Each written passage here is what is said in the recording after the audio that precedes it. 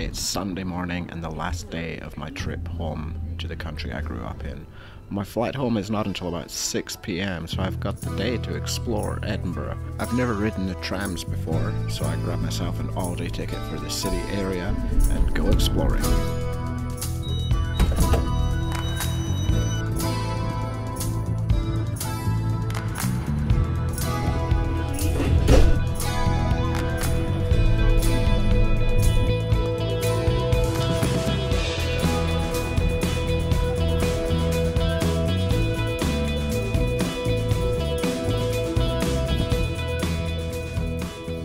Also never climbed Arthur's Seat before, and since it's such a beautiful, cold, wet, windy day, could be worse times to try it.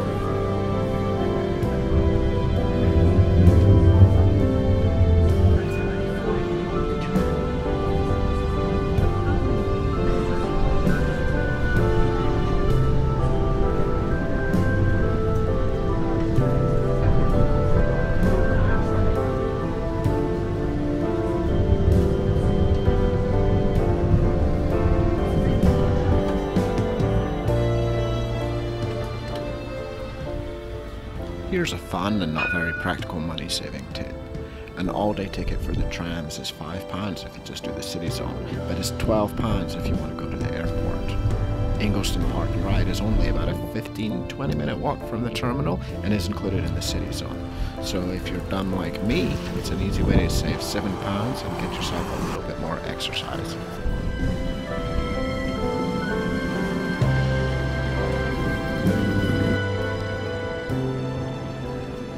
To the airport. Yay! I get to go home now. Well, it is Sunday evening, and my trip is basically done. I'm sorry that I didn't share much of what I did in Edinburgh. I ended up meeting up with a friend and going to a couple of shows with him, and I was just enjoying that too much to think about spending time with you guys. But it's time to go home. So this evening, we're flying from Edinburgh to Stockholm in Sweden, where I do have to spend the night, but I've got somewhere kind of cool to stay. Then tomorrow morning, we fly back into Copenhagen for a quick layover, and then back on that flight to Atlanta, and then home. So, long journey home, but it's been an amazing trip so far. I really wish I'd been able to take more time off work. All checked in. Always a complicated one. British citizen, US permanent resident, overnight layover in Stockholm. Cool beans. But we made it. We were checked in, but head security and start our way going home. Uh, security only took about 15 minutes. That's not bad considering that halfway through they closed a couple of the lines and we were all forced to go through one. But hey, we made it. Now to walk through duty free.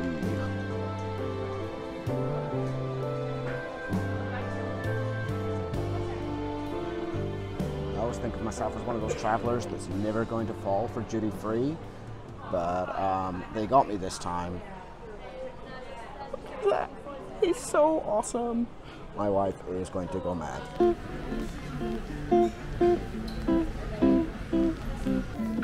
So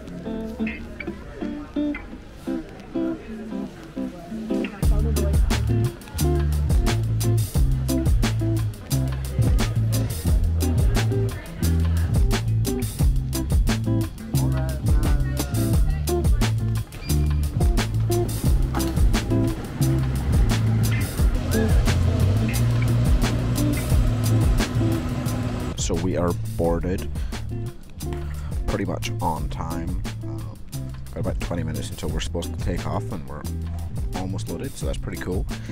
It's about two hours over to Stockholm. Should hopefully be a pretty smooth flight, but it's going to be mostly dark, so I don't know how much I'll be able to film. Land about midnight or so, and then just a quick bus to our hotel at the airport.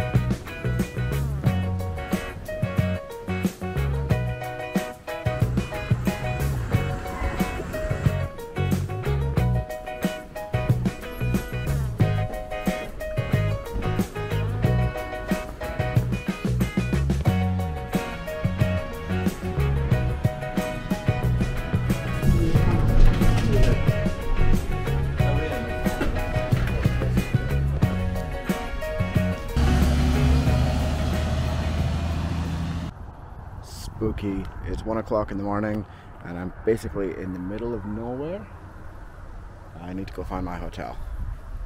Ooh. I don't know if it is possible for you to really understand the joy that I'm feeling right now, but my hotel is a plane.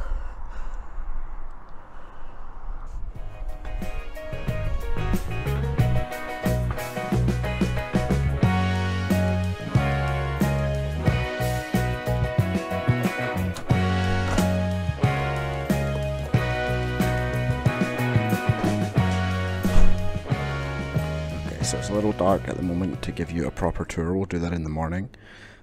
But I am so excited. Look at that. It's the nose of a 747 for breakfast. I am so damn excited.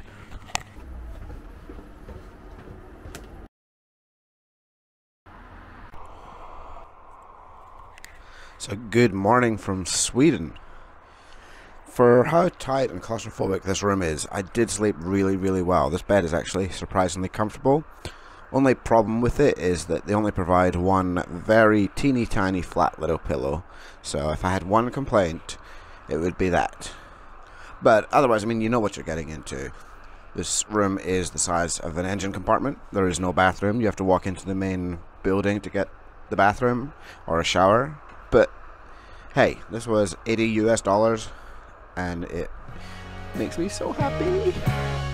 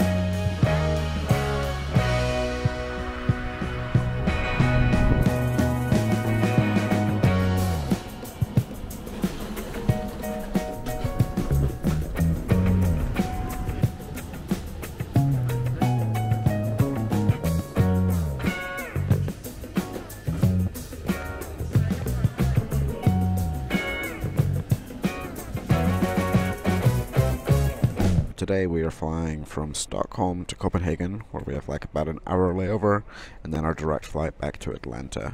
Everything looks like it's going to be on time so far, so it should be hopefully a pretty smooth day.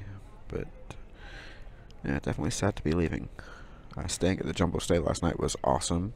That cost about 80 US dollars, I think 800 kroner when I booked it. Booking process was a little confusing. Like I booked it through their website, I didn't receive an email confirmation automatically. I emailed them asking for an email confirmation, nothing. I messaged them on Facebook, nothing. Emailed them again, finally got my email confirmation, and then I was a little worried that I wouldn't get information about how to check in because I knew they wouldn't be staffed when I arrived at 1am. But yeah, Sunday morning, got an email from them, gave me the door code, gave me the code to the after hours pickup box, and everything worked out real smooth. It did offer breakfast. I didn't try it. It didn't look particularly appetizing. But I will say, you know, it, you got to go in with low expectations. It's a hostel. It's not a five-star hotel like I stayed in the night before in Edinburgh. But it's so cool because you get to sleep in a plane.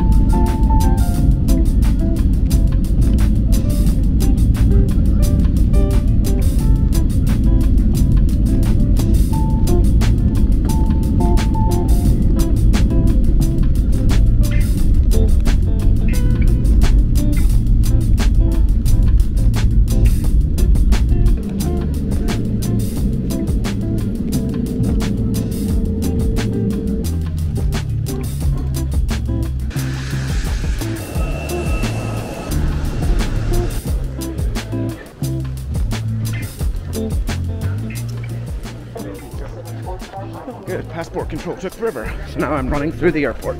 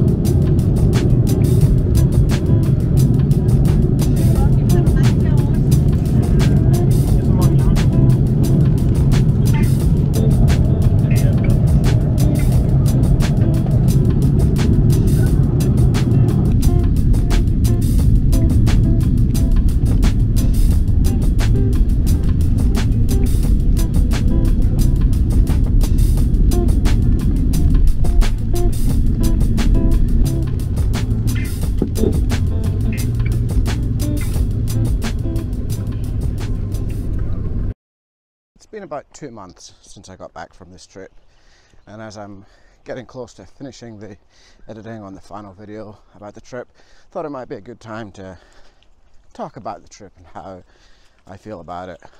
Unfortunately, I wasn't able to film a conclusion at the time as running through Copenhagen airport. I lost my microphone, fell off my shirt, never saw it again. Yay!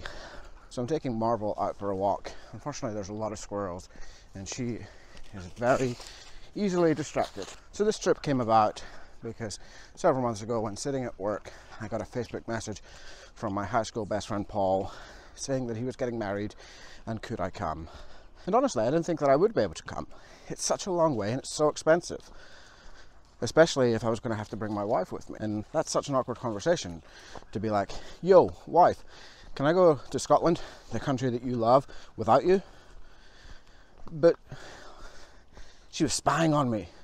She was playing games on my laptop and got a notification from Facebook that, about the conversation. And she texted me and said, Hey, you can go without me.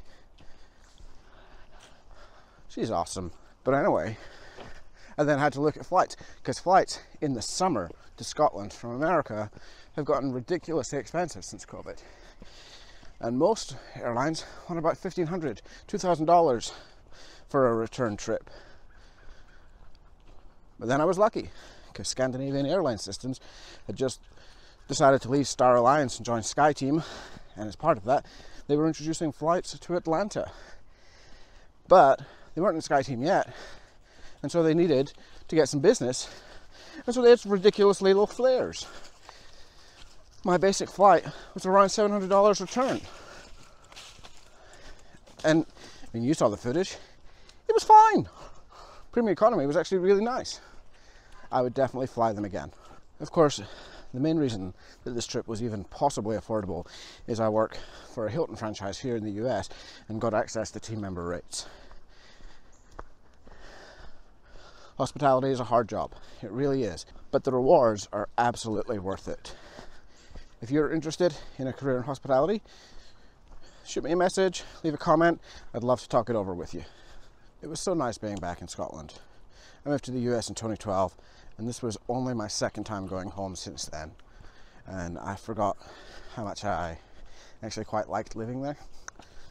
So, definitely need to find a way to make it happen again sooner than another six years. Thank you for joining me on this journey. I made these videos not for any sort of YouTube success or celebrity, but just because I wanted to see if I had the skills to make something like Steve Marsh or any of those other guys that are do awesome jobs.